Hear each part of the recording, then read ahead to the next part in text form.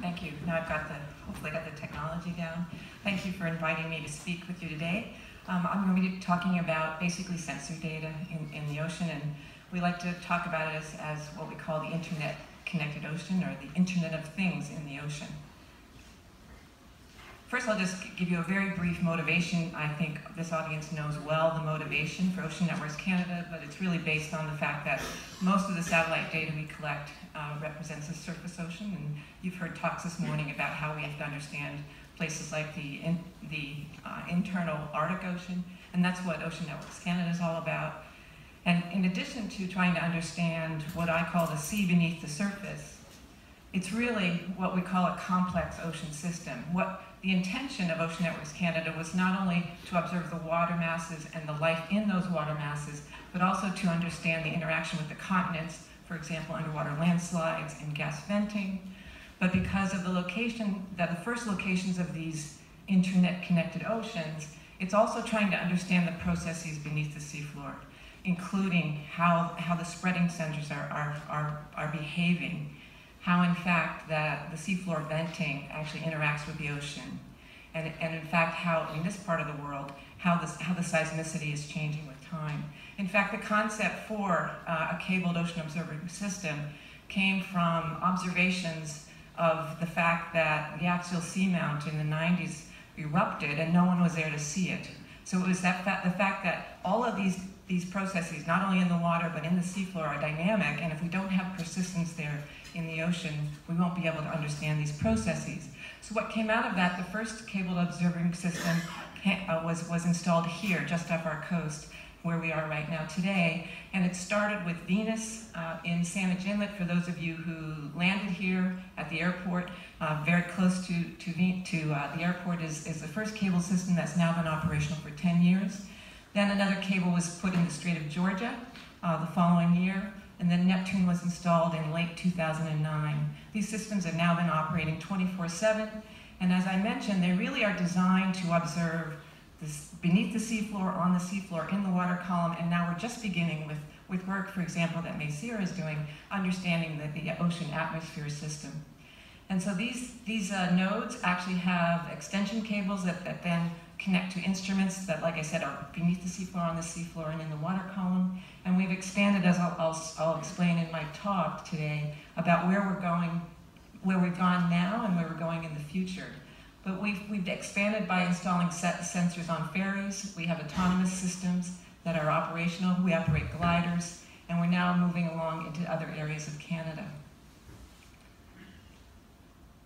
But this is all based on science. And so we have our, our infrastructure is for basic science. Understanding climate change is a big theme. Life in the Northeast Pacific and Salish Sea, from microbes to whales. Seafloor ocean atmosphere links, I'll give you a few examples, and then seafloor motion. As you can imagine, seafloor motion is a theme of understanding the great subduction earthquakes and the tsunamis that they generate.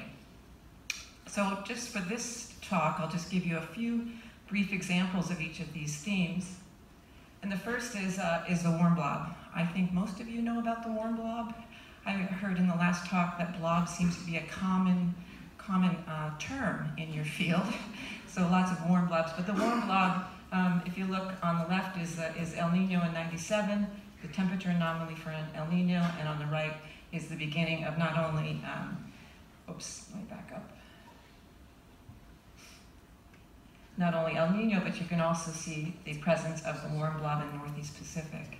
So this was a surprise to many oceanographers that this very anomalous uh, temp temperature anomaly occurred in the Northeast Pacific. But what we were trying to understand at Ocean Networks Canada is how does that impact the coastal ocean? Because it's a coastal ocean where people live, where activities occur, and how is that changing the actual ecosystems along the coast? So in Saanich Inlet, this is a 10-year record of temperature, oxygen, uh, and other parameters, and I'm going to just talk about the temperature and the oxygen. The temperature's on the bottom, oxygen at the top. And you can see the El Nino, the earlier El Nino, where you can see that in the wintertime the temperature stayed very high. Similarly with the beginning of uh, the El Nino and the warm blob, but it's even higher because of that influence, and now it's remained high. And the impact on the oxygen is very dramatic in terms of, of, of low dissolved oxygen. Subsequent to these, these measurements and the understanding of these changes over the long term, we can now go in, and last summer, scientists went into Saanich Inlet to actually document through ROV surveys that in fact the ecosystem in Saanich Inlet, which is a fjord that water masses have to travel extensive distances to impact, have actually disrupted that biological system. So these satellite data help us to look at these in situ um, measurements, and that helps us then focus studies to understand how these kinds of extreme climate events impact the local ecosystem. In terms of other kinds of life, this is an image that I like to show because it's, it's very dynamic. This is a, a place we call Bubbly Gulch. There's methane coming out of the seafloor all the time. These crabs go there. They feed on the, on the bacteria, on the, on the bubbles. And then the, this, this example is where the hydrates that are outside the bubbles of, of the methane actually, actually accumulate on the belly of these crabs, and methane's lighter than water, so they do backflips. So scientists, we're, we're not sure if they go there for fun or for food or for both. But we, we discover these kinds of things all the time, even from citizen scientists all over the world. We had a Ukrainian boy discover a marine mammal uh, feeding, very unusual feeding uh, process. And we had a, a, male worker from Minnesota discover a, a, huge crab migration. And we're, we're so happy we can keep those male workers uh, busy while they're, while they're on the night shift. This is just another example of the same area, Bubbly Gulch, where we're trying to understand the fluxes of, of the gas hydrates. And so we've had, we've update, upgraded our, our, our acoustic sensors so that we can very, very precisely um, quantify the flux of methane going into, into the ocean. As you know, methane, methane is undersaturated in the ocean, but it's studies like this that will help us understand how much is actually reaching the atmosphere, how much is interacting with the ocean to change its chemistry, and in places like the Arctic where we'd like to have these same systems, we can then understand what is the impact of the methane released into the atmosphere in those shallower waters of the ocean. And of course, uh, this is our most, uh, most dynamic location for, for, for, Neptune at the Endeavour node of, of, of the Neptune uh, array. And it's on the Endeavour segment of the Juan de Fuca Ridge. This is a place where black smokers are formed, as you can see. And these, we're measuring in situ the temperatures that are coming out of these systems. And as you know well, these black smokers form because this 300 plus degree C mineral rich water hits the cold ocean water, forming these giant chimneys. And they're initially barren of life, and then life actually uh, accumulates on these black smokers. So we're studying life on the, how life evolves in these systems as part of understanding how life evolved on the Earth. Some scientists are trying to understand how these minerals could be used from a, from a resource perspective, although this location that we're in is a marine protected area. But our technology is there to be used should there be uh, resource extraction in other parts of the world. And we've just uh, in, uh, installed uh, current meters in this location so we can understand how, how deep sea currents are influenced by this incredible influx of heat and, and very different water masses into the, into the seafloor. Of course, we, we want to understand the, this location, so uh, you probably weren't here last week, but last week here in British Columbia, we all took part in what's, what's called the, the Great Shakeout. So we practiced to be sure that we would be safe during an earthquake. So for those of you who don't know, you should make sure you have a flashlight next to your bed and shoes next to your bed should there be an earthquake at night so that you can put your shoes on and not and get out of a, get, get to a safe place and not cut yourself on glass and with a flashlight know where you're going. And so be, be safe if a great earthquake starts here. But we have, the last great earthquake here was in was January 26, 1700. They happen on a frequency of about 300 to 500 years. We are very interested in understanding this, and we have seismometers all over the network to try to further understand this subduction earthquake and other earthquakes in the region. We're also interested in understanding, we're working with tsunami researchers, so we have some of the most precise tsunami wave sensors on the Neptune network. And we're taking those, those sensor data and we're taking models from Natural Resources Canada, Geological Survey of Canada, and updating the tsunami models for this region. We're also then integrating them with the National Oceanic and Atmospheric Administration digital elevation model.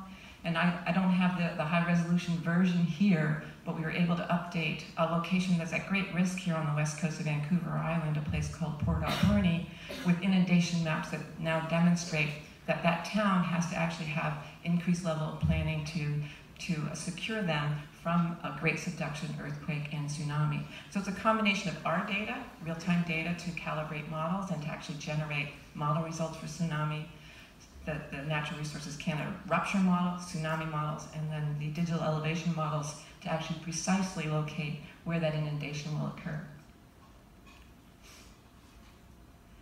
We're also, to also do all of this, we need a, an incredible data management system, and I'm proud to say I think we're the world leaders in ocean sensor data like these. We are, in, in essence, a big data provider. Now, big data sometimes is associated with volume. We have volume, but it's not the greatest in the world. I'll give you some numbers. But it's, it's really about diversity of data. We have, we're recognized by the World Data System, by the International Council for Science, um, but I'm making this uh, pitch to you because if you have data needs, this kind of system can help you. Um, the diversity goes from temperature sensors, you know, a point at one time, like an Argo data set, to vector-related data from, for example, acoustic Doppler current profilers, to streaming data, for example, hydrophone, optics, video, etc. So with the diversity of data makes our system incredibly uh, uh, powerful, and it's interactive. So for example, we have uh, camera systems that can be controlled, controlled by scientists. We have a crawler on the seafloor that's controlled by a scientist in Germany. He drives it around when he wakes up, having his, his espresso in the morning. Um, we also have sampling systems that can be triggered either by a scientist or automatically if they're sensing something else. So it's this interactive nature, the diversity of data and the volume. We're now at over 450 terabytes of data, accessible over the internet to anyone in the world for free. And we're now always developing new tools for scientists to actually use these data in ways that, that makes it helpful for them. We're always interested in new communities, and if you have a data need, we'd like to talk with you about how we can help you deliver, see, analyze your own data. And so I'm going to move to the, the title of the talk, Smart Oceans and Coasts. What we now have been doing, we are funded from the Canadian government for really the Science Foundation I just talked about. Anyone in the world can come and use these data for their own research purposes. But now we're actually focusing on what can we do as a Canadian funded infrastructure to protect our own ocean and coast here in Canada. And it started in Cambridge Bay, Nunavut. So this is in the Arctic. And in 2012, uh, we decided to put something in, in uh, Cambridge Bay because the previous prime minister, his name was Harper, if you can remember that name, and he uh, had promised that there would be a, a, Canadian Higher Research Station, but by 2012, he announced this in 2007, by 2012 there was nothing there. So we said, okay, we know how to put something in the water, so we put a small system in Cambridge Bay, just off the dock, essentially, and this is just an animation of it. But it started in 2012, and we decided not only to put this small system uh, off the dock, but also to engage the community to see, well, could they use these data for some particular purpose? And because of that, we, we put a new kind of sensor on this observatory. It's a sea ice profiler uh, that is, is, uh, is, um, is manufactured here on Vancouver Island. And that sea ice profiler has been used by the community because they're interested in, in, the ice thickness so that if they choose, they can take a shortcut from town to the airport if the ice is thick enough. But then we saw that the science community was very interested in these data. And now these data are being used by a, wide range of scientists, even, and we've moved it further offshore since 2012. It's been operational 24-7 since then. And uh, to this community, I'd say that this is a, an in situ laboratory for a, a testing uh, algorithms because there's a wide range, range of sensors here in an ice, uh, ice covered system. Just to show you some of the data, this is the top data is uh, sea ice growth and then decay uh, or thawing. And on the bottom are, are, are parameters about phytoplankton and oxygen that, uh, that, that then show you in this particular data set that the actual phytoplankton expansion and oxygen occur much before the actual uh, sea ice goes away in the winter. We have other data now because we're, we're starting to measure CO2. We're testing pH sensors at this site. So it's really a test site that you can think about for calibrating some of the work that you do. For example, we, we, we, are going to be, you can't really interpret these data with the, without having in situ data like these. This is before freeze up and after freeze up at that, at that time of year. So you might want to think about not only Neptune and Venus as experimental locations for testing uh, properties and algorithms that you use, but also this very small but powerful observatory in the Arctic. So because we were able to demonstrate to our funders that uh, we could install a system in the Arctic and keep it going 24-7, uh, without people there, we only go up once a year to operate and maintain it. We also put a proposal in to expand these, what we call community observatories, into the north coast of British Columbia, Prince Rupert, Kitimat Village. For those of you who don't know, Kitimat is at the head of the beautiful Douglas Channel. In Hartley Bay, which is a community along the Douglas Channel. In, in another location, Campbell River on Vancouver Island, and expand the systems on Neptune and Venus. And because we decided that this is really, we want to do something that benefits the country, not just the scientific and researchers, we decided to also um, begin to produce what we call data products using the data from these observatories. The data products are about improving marine safety, environmental monitoring, and public safety. I'll give you a few examples of those, but most importantly, in terms of, um, of environmental monitoring, one of the issues that has been um, hovering over Canada recently, if you read the news now that you're here, um, is that there is human pressures in these places that are incredibly, incredibly remote. And so there's not been any observations in these areas, and there's a there's a there's a commitment in this country to First Nations, and these areas are populated by by First Nations who have rights, and they are very interested in understanding the environmental benchmark and being part of decision making should there be expansion of these in these areas of human impact human impact, such as turning a smelter back on or having an export location for, for hydrocarbons. And so we were funded to install these systems. They were all installed in March of this year, or, or they're, they're, they're, all coming on stream. They include uh, community observatories, like I showed you in the Arctic, uh, radar systems, uh, and automatic identification system sensors for, for ship, tracking, included, and also in the environmental sensors, we have uh, a dense network of hydrophones, because that's one of the iconic areas that I'll mention again as I give you some examples here today. We're just before I move on to the examples of the smart ocean systems, uh, because of the, the strength of Oceans 2, uh, we are delivering data from other locations. We're delivering data from the East Coast, the Fundy Ocean Research Center for Energy. It's a tidal turbine test bed. We'll soon be delivering uh, radar data from, from the Halifax region. We'll soon be delivering buoy data from offshore Newfoundland. These are some of the, some of the only uh, persistent ocean observations in those, in those region, regions. We'll be expanding a community observatory into Churchill, Manitoba, in, in partnership with the University of Manitoba. And there are proposals in, in this area of the Arctic for installing a very uh, sophisticated observatory system in Baffin Bay, including a cabled system and moorings uh, and gliders, uh, as well as community observatories along the coast. So those proposals are actively being discussed with funding agencies in Canada. We deliver the Arctic Drifter buoy. We have a we have we just got funded to do a design study for a cable system in Gascoyne Inlet and we are putting a proposal in to put in a cable system in, in Resolute. We're partnering with others in Alaska to, to deliver data from, uh, from communities that collected themselves, and I'll show you an example of that. So what we're trying to do is not only leverage other activities from other departments. For example, this is the, a Defense Department interest, but they're interested in working with scientists to have that installed for open data purposes. So to come back to the Smart Ocean data products, I, I, gave you an example of the tsunami alerts. We have the ability to provide alerts our data goes to the Pacific Tsunami Center, but we've also installed a radar system off the west coast of, of Vancouver Island to identify uh, tsunami waves that are generated at our subduction zone.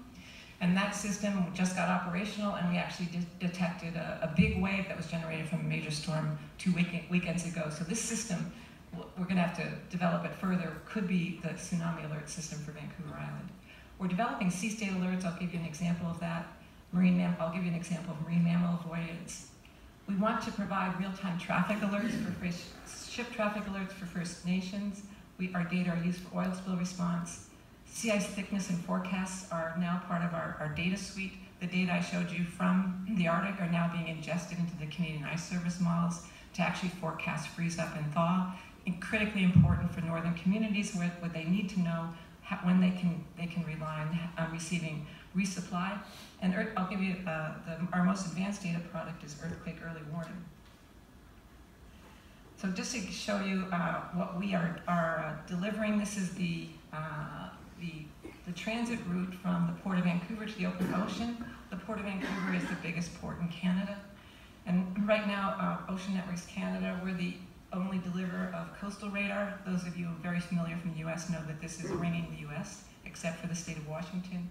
But not only are we delivering these data, providing real-time surface currents and direction, but we're also combining these data with weather-generated wave information to provide a sea state alert that we will be delivering direct, directly to pilots on vessels so they can make decisions about safely transiting these narrow passages that have extremely complex current systems.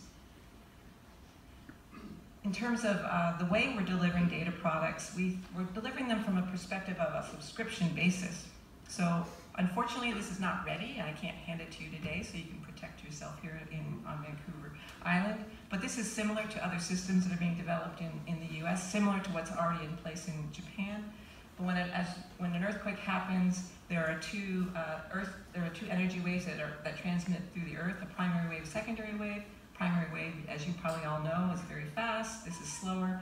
And we are installing sensors on the seafloor and on land to actually be able to identify the location and magnitude of the earthquake and then provide the seconds needed to protect yourself from, uh, from the ground shaking that arrives uh, from the S wave rather than from the P wave.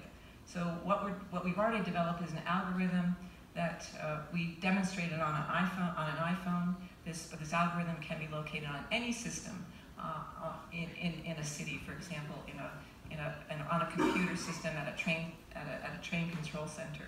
But what this does is will provide you with the time before major shaking arrives, where you are located, the strength of it, and, and some more information about that we, we think we better change the snooze button. No? we haven't done yet.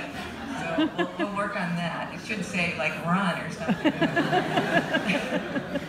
so uh, that's, th but this is the idea for all of these products that they'll be subscription based and then, then, we, then entities can sub subscribe to them. So right now we are, we are funded. We are now going to be the provider of earthquake early warning for the southern British Columbia. We're in the, in the process. We've installed two sensors offshore and now this winter we'll be, we'll be uh, densifying the sensor network on Vancouver Island. So by 20, end of 2018, early 2019, we'll have a system that can then be tested and, and commissioned for earthquake early warning. As I mentioned, ocean health is a really big issue here in most of the world, but here particularly in British Columbia. And so what, one of the biggest issues is cumulative impacts. This is a picture of Hartley Bay in Douglas Channel, there was a smelter that was operational, uh, and the First Nations attribute the loss of uh, the, the candlefish uh, to that smelter. That is now down. That could become operational, but without data to assess the impact on the waterway should that smelter come online again, you, you'll just you'll just be guessing. So both industry and First Nations are interested in ensuring that we have high quality real-time data on the, on the water quality. It also helps us with environmental benchmarking in terms of what's there now, how's it changed. We're working with others to do ocean health reporting in many of these areas. And most important to, to many of the communities is ocean noise. So we're working with the Port of Vancouver uh, we, you know, on what's called the ECHO project. It's an acronym, and I can't remember what it stands for, but it's about uh, whales.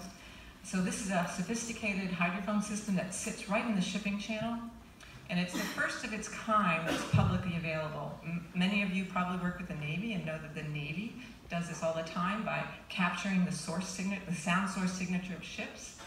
But never before has it been publicly, a public system available to all researchers. So we're getting lots of inquiries from around the world on this. we we've now captured over 2,000 ship source signatures. The concept here is to try to reduce the noise that these ships make. We think that in by socializing this further, the shipping industry will be interested in reducing ocean noise because, as you know well, noise means loss of energy. Loss of energy means your ship isn't efficient, you're burning more fuel, more CO2 into the atmosphere. So that's one aspect of this, this effort that we're working on with the port.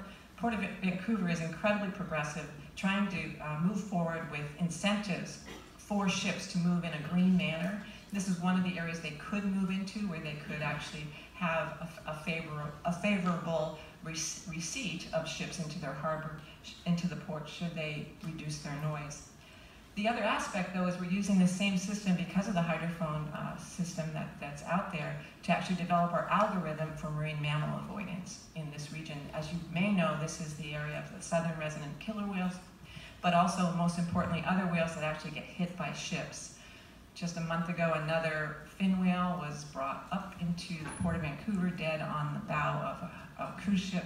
We want to try to figure out how we can begin to, to, to eliminate those, those impacts so we're, we're working an algorithm to identify location of pods of whales, and we, because we capture all of the automatic identification system for Canada, we can take those data, combine them, and provide alert to pilots to actually do something to avoid impacting, impacting marine mammals.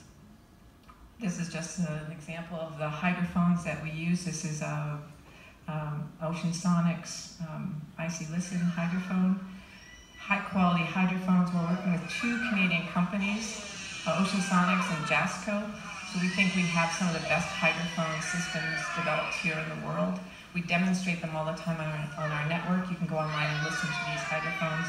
And they're very high quality data, well calibrated, consistent so you can compare them to other data sets.